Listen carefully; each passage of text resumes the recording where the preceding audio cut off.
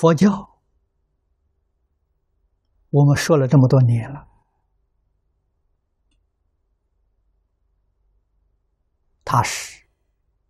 佛陀至善圆满的教育，它不是宗教。啊，所以无论是。不同的族群，不同的宗教，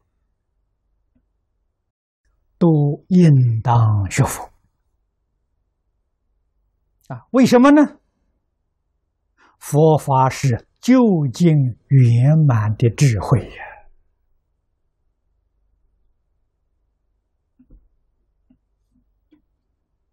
虚空法界一切众生都需要智慧。需要真实的智慧，需要圆满的智慧，才能过幸福美满的生活。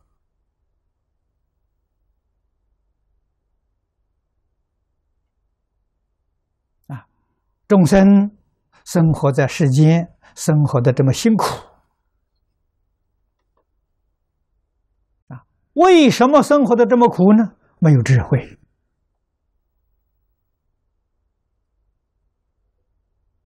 生活在烦恼、忧虑、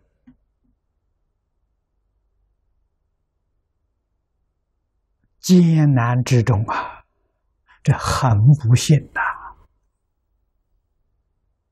啊，佛法要度众生，都是帮助、协助的意思，帮助众生、协助众生离苦得乐。